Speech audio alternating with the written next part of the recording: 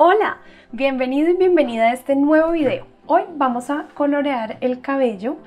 Eh, quiero mostrarte paso a paso cómo lo voy a hacer. Voy a utilizar marcadores y lápices de color. La idea es que tú puedas tener un marcador clarito, como en este caso. Entonces vamos a ir probando cuáles son esos tonos de los marcadores. Tengo un rosado que es más claro, luego uno es más intermedio, ¿sí? La idea es que puedas tener varios tonos eh, más oscuros cada vez, ¿sí? Digamos el mismo tono como los rosados, pero vamos a tener varias variantes. Entonces vamos a tener más claro a uno más oscuro. Entre más puedas usar, mucho mejor porque se van a ver más las luces, las sombras y bueno, va a quedar súper. Adicionalmente vamos a tener que buscar lápices de color que eh, también estén como dentro de la gama. Entonces a mí siempre me gusta como probar si este vendría bien. Entonces yo veo que sí, son como muy relacionados y me va a servir para los cabellos. Entonces puedo utilizar ese. Adicionalmente busquemos unos. Este por ejemplo lo veo muy morado, ni siquiera para el oscuro. Si ves, no se nota como, como de la misma tonalidad, sino que es muy morado. Entonces este definitivamente lo voy a descartar y veamos este. Este es muy similar y también nos puede servir un poco. Ahora quieres buscar un tono que sea mucho más oscuro que este. Veamos este qué tal. Este puede servir, está como más acorde y me gusta para los detalles como más oscuros. Digamos que no, no es necesario usar negro, pero si de pronto vemos la necesidad, usaremos negro. Entonces es muy importante que hagas esta prueba primero, ¿no? Ahora entonces lo que voy a hacer es primero dar la base a todo el cabello con el marcador que es más claro. Simplemente voy a ir coloreando todo como una base muy pareja y muy clarita.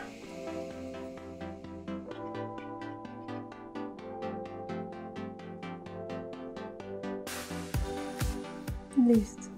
Como es la primera capa, fíjate que no he, no he hecho los trazos en ninguna forma en particular, solamente estoy coloreando ahí, ¿no? Ahora con el número que le sigue, dejemos secar un poquito. Ya empiezo a hacer como la forma que tendría el cabello. Entonces desde el nacimiento del cabello ya comienzo a darle toda la forma como a cada mechón. Mira que al comienzo no hice todos los mechones en micropunta, sino solamente lo voy a hacer en este caso con el marcador directamente. Si quieres ver cómo coloreé la piel, no te pierdas mi video en Instagram TV y de este lado también empiezo como a detallar cómo es ese peinado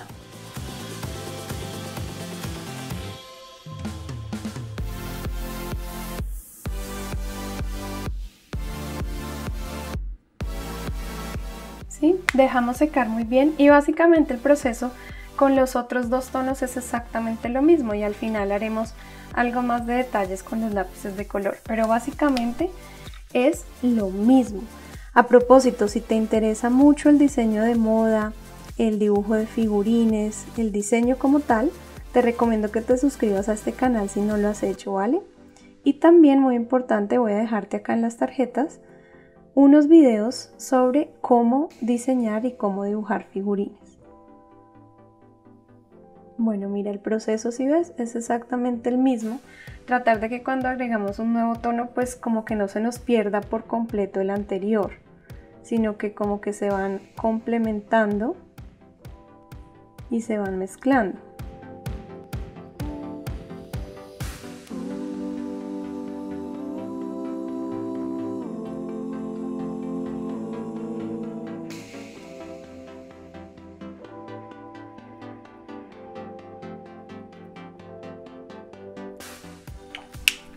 Si quiero puedo volver al tono inicial y con él ir mezclando un poquito más en esos lugares donde va a haber como más oscuridad, más sombra, como por ejemplo acá la raíz. A aplicarle incluso otra capa Recuerda, no hay que tocar todo, solamente lo estoy haciendo en esos lugares donde hay como más textura o más sombras. Y esto también nos ayuda a mezclar un poquito las capas del marcador que hemos aplicado.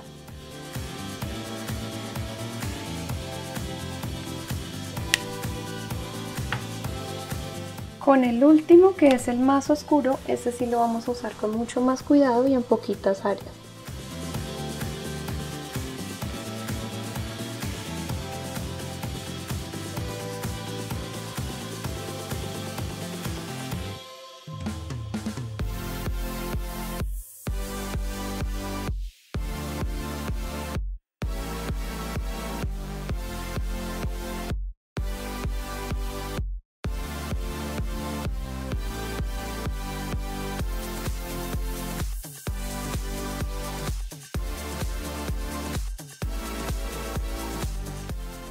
Ahora, al final con los lápices de color vamos a evaluar si nos conviene hacer todo, porque puede ser que hayas oscurecido mucho con el marcador, entonces solamente puedes usar un lápiz de color más oscuro.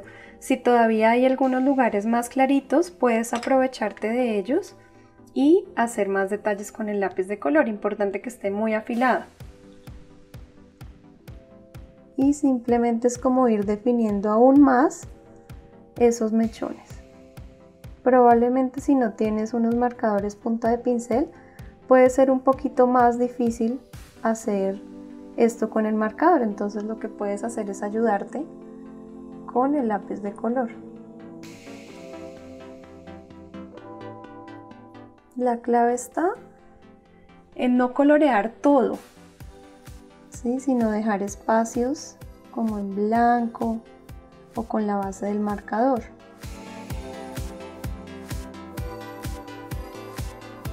Mira cómo complementa de bien el lápiz de color, ¿no? Con los lápices de color también puedes ir con los diferentes tonos haciendo el efecto. La idea es que se logre ver como esto, como cada cabello, como este efecto.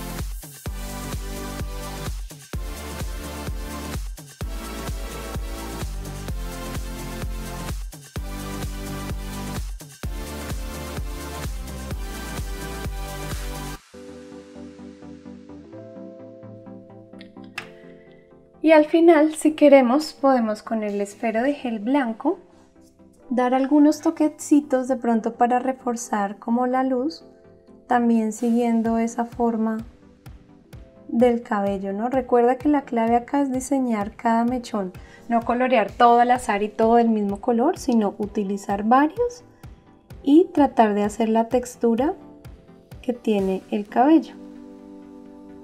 Igualmente acá cuando estemos usando el esfero de gel, Mira cómo empieza ya a realzarse mucho más la luz en algunos lugares.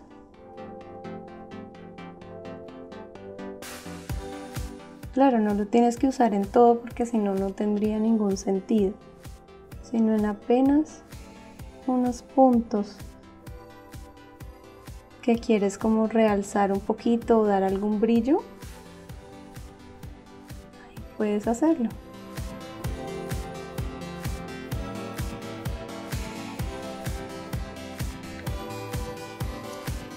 Ya al final si quieres puedes añadir unas goticas de negro, pero muy poco, solo como por reforzar algunas partes de sombra o de textura que quieras resaltar y eso es todo. Entonces, si te gustó este video, escríbeme en los comentarios, cuéntame cómo te fue, si aplicaste ya esta técnica y también déjame saber qué más te gustaría aprender en torno a la ilustración de moda.